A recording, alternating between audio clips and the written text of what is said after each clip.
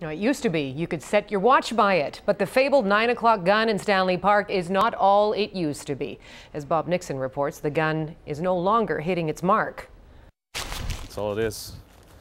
Pound and a half of black powder. There is no way to sugarcoat this, folks. Vancouver's fabled 9 o'clock gun does not actually fire at 9 o'clock and we try to keep it as close to 9 o'clock as we can get it. Rick Harrison was the gunkeeper here for more than 20 years. Those duties are now the responsibility of Trent Furlong, who every day connects the wires of a digital clock to an electric match.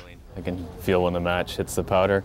The problem? That digital clock built into the base of the cannon's plaque.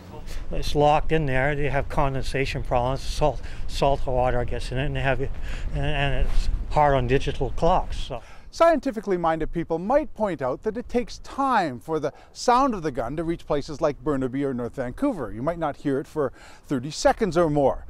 What the sound cannot do, though, is travel backwards in time. Across the water, people were watching and waiting. Stephen Sinclair set up an engineering scope for the job. So I'm sitting here with my daughter and uh, all set up to look at it, and goes off and it's 8.58. And Sinclair's clock is his cell phone, so it has to be accurate. The problem must lie with the gun. I expected it would go off at 9 o'clock. I think 9 o'clock is a reasonable time for a gun to go off. Of course, nobody sets their clock by the gun anymore, though the city is getting emails from people like Sinclair. Harrison solution? In the old days, we had the old analog clock and it kept it to the second. Good idea, because aside from all the electric gizmos, the gun fires exactly as it did 118 years ago.